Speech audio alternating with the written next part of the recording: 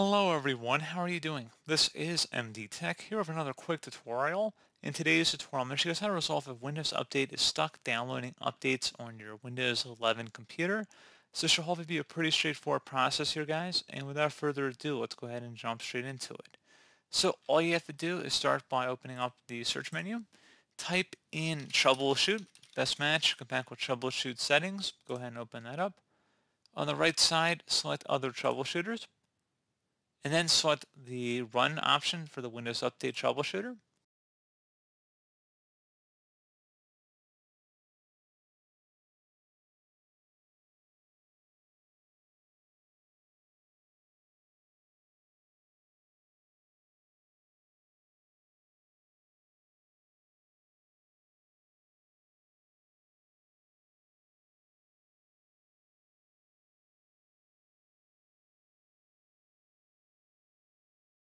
And once that's done, go ahead and close out of here.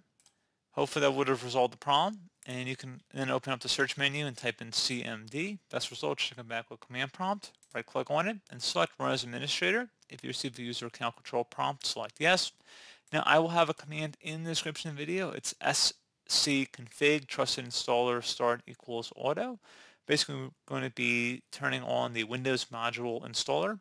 So go ahead and just copy that and then go up to the top bar of the command prompt window, right click on it, select edit and then select paste to paste in this command. Should say success.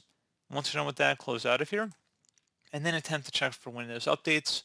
And then finally, you can, and I would suggest restarting your computer and then attempt to check for updates again if you're having a problem. Often this might fix if you're having issues with pending updates and it's not letting you check for further updates. Make sure you also have an internet connection as well, something else you should definitely take a look at. You can install updates if you don't have connection to the internet. So pretty straightforward process, guys. Do was able to help you out, and I do look forward to catching you all in the next tutorial. Goodbye.